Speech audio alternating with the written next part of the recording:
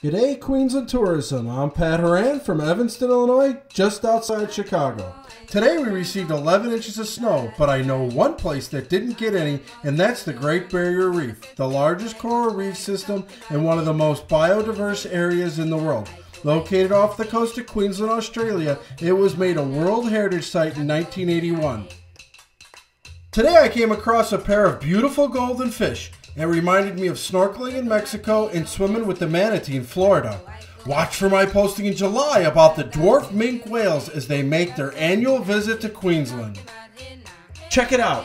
It might look dead, but in a few weeks it'll be green and alive. I love the outdoors and exploring nature.